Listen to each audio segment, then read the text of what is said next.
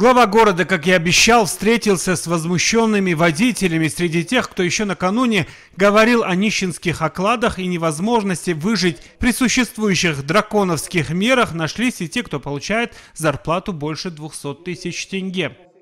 На сегодняшний день наши водители получают за один день работы 10 320 тенге. Вот у нас есть мужчина, который получил более 300 тысяч тенге вместе с отпуском и учитывая все сборы. Пусть подтвердит. Да, я подтверждаю. Это был еще и отпуск.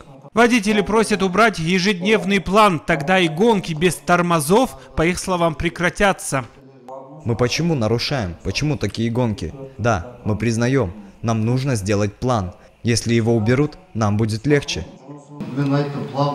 Я сказал, чтобы убрали план. Работайте и получайте за это лучше премию. Некоторые из водителей каждый день зарабатывают по 10 тысяч тенге минимум. Присутствующие не скрывают этого. Признайтесь, вы же себе в карман кладете каждый день, да? Да, давайте теперь эти деньги будем передавать в компанию.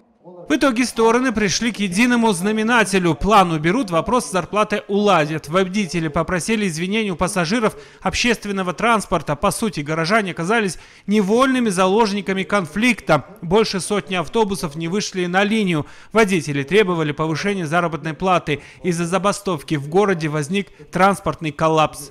Я прошу прощения у всех, что такое вышло. Мы надеемся, что такого больше не повторится. Аким Шимкента заявил, что в любое время готов не только выслушать, но и оказать поддержку каждому в рамках закона. Главное, чтобы население не страдало. Шудин Саидов, Давран Абдиев, Сергей Константинов, информационная служба телекомпании «Утырар».